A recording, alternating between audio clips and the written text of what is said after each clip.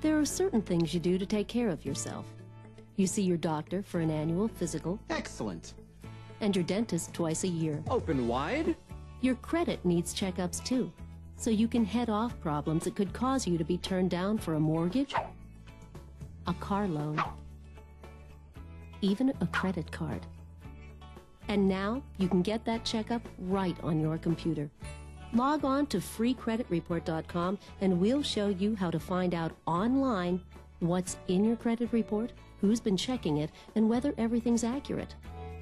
It's easy, convenient, and online at freecreditreport.com. So log on today.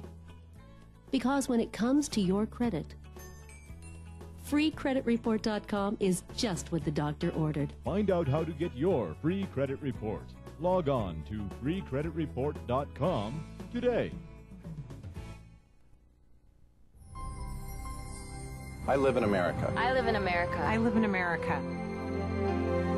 I live in America. We live in America. We are an American family. We've worked hard. We work hard for what we have. And we appreciate what we've earned. We love our work. We love our work. We love our kids. We love our kids. Our time together. Our time together Our time together is very important. We've worked hard to build a good life for ourselves. I take a lot of pride in that. For us, it's the American dream. It's the American dream.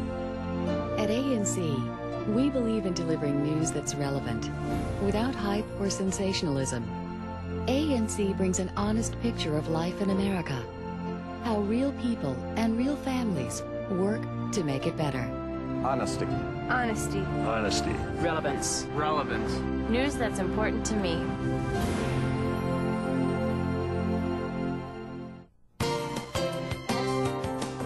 And now recapping the hour's top stories. Military experts warned against the U.S. mounting a solo attack against Iraq. Former generals told a Senate committee that a street war in Baghdad could result in staggering U.S. casualties. Israel's siege of Yasser Arafat's compound is drawing fire from many, even the White House. Plus, the government has developed a plan to vaccinate Americans in the event of a terrorist attack using smallpox.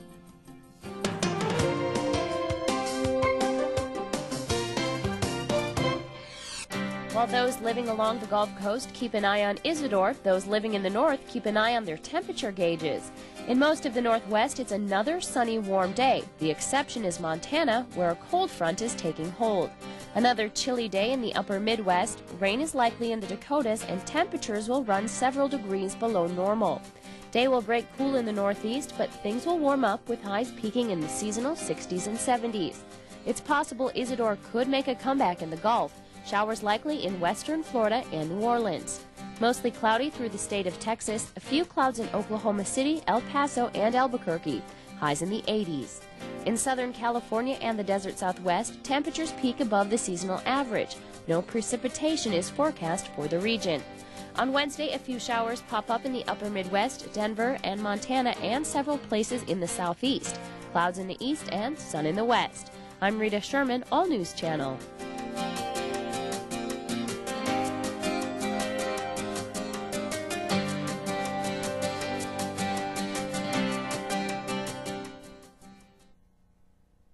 Migraine sufferers may find new hope and relief in an unusual place, and more evidence about the benefits of aspirin. This time it can help your mind. Jody Davis has those stories and more in Your Health. Chalk up another one for aspirin. Researchers think it may help prevent or delay Alzheimer's disease. The Puget Sound Healthcare System study followed people age 65 and up. Researchers found those who took aspirin regularly for more than two years were less likely to show signs of dementia. The longer the participants took aspirin, the less likely they were to develop Alzheimer's-like symptoms. Aspirin has been shown to benefit heart patients, but in some cases it can cause stomach bleeding. The study is published in the journal Neurology. Aspirin won't prevent a migraine headache, but an epilepsy drug might. Scientists say migraines are caused by unusual activity in the brain's nerve cells, somewhat like epilepsy. A scientist with Thomas Jefferson University studied the effect of the epilepsy drug topiramate on migraine sufferers. Half the patients noted a decrease in the number of migraines and their intensity. Should you fret if your burger loving kid decides to give up meat? More and more kids are declaring themselves vegetarians, but can that really give them all the nutrition they need? Colleen Burns has some answers. Let's see if that's long enough. A couple of years ago, Liza Lieberman made a New Year's resolution to quit eating meat. She's been a vegetarian ever since. Today's lunch with cousin Carla and friend Amanda is naturally meat-free. It's made me feel more conscious like yeah i'm i'm a vegetarian i'm really thinking about what i'm eating. For liza the decision was mostly a matter of taste. And like turkey sandwiches and my lunches at school they just got so boring and i was like one day i just just like i don't like this i don't know why i'm still eating it Millions of Americans call themselves vegetarians, and teenagers are often the first in a family to make the choice. Liza's parents support her decision by keeping the kitchen stocked with good and nutritious options. For protein, she still eats fish, but her diet staple, lots and lots of pasta. One of the things that we do know about vegetarianism is that it's a, it's a perfectly normal, uh, wonderfully healthy style for eating yes when it's done correctly. Now, what do I mean by correctly? Um, it goes back to variety. You can have a perfectly healthy vegetarian diet if you eat a variety of, of plant foods, if you eat a variety of grains, fruits and vegetables, nuts and seeds. There we go. For Liza, the changes meant a healthier and more creative approach to eating. Actually, I've I feel like I get a much bigger variety now that I'm a vegetarian and I'm like open to more things, there's a lot more variety. Want some Parmesan? Teens who go veggie need to make sure they get enough iron, calcium, and B12, nutrients that may be missing in a completely meat and dairy-free diet. Something that helps, eat calcium-rich vegetables and fortified cereal. More often than not, a teen's decision can make a family healthier as well. This is Colleen Burns, All News Channel. Now, experts warn in some cases going vegetarian may be an indication a teenager is getting too focused on food and weight control. Ask your teen why. If they're making the decision for healthy reasons, there is no cause for worry. And that's a look at your health. I'm Jody Davis.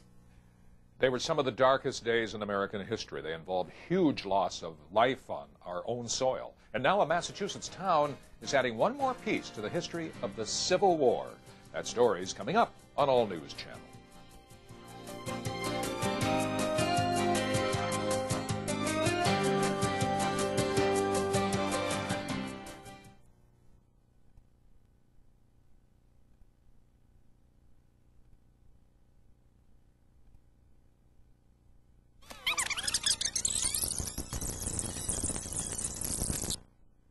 on TV. That's two phone free systems for $19.95 plus shipping and handling. Phone free is backed by our 30 day money back guarantee. Call 1 800 220 1712. Call now.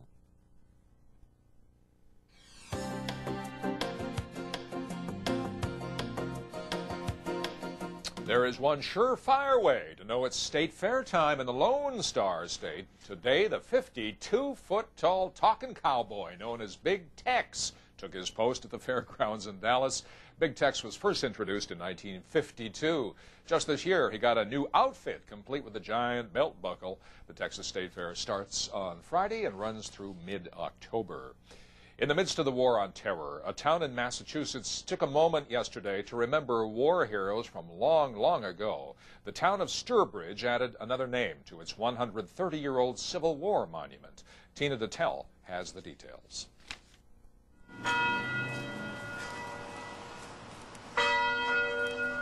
The bell atop the Federated Church in Sturbridge, Massachusetts, tolled 28 times, once for each resident who served with the 15th Massachusetts Volunteer Infantry Regiment and died during the Civil War. A chapter in history revisited and made right. The uh, men who left town had certain expectations, and I think one expectation was that uh, they would be remembered and honored should they not return. Brian Burns first discovered one soldier was missing from this monument when he read an article written at the turn of the 20th century. The soldier's name was William Blood. Blood was a 21 year old shoemaker from Sturbridge who joined the 15th Massachusetts Regiment in 1861. He died a year later at the Battle of Antietam in Sharpsburg, Maryland. When this monument was first dedicated in 1871, nine years after his death, none of Blood's relatives were believed living in Sturbridge, which may be why he was left off the list. N. Wright and William Lawson Blood. Now, when the roll call is read, they can say, For the very first time, all present. David Ward's great grandfather, Colonel George Hull Ward, led Blood's regiment.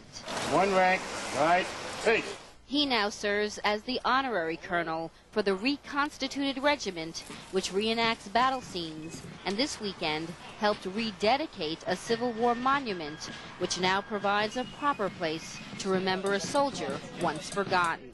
This is a man that lived here. His house is right over the hill where he's brought up.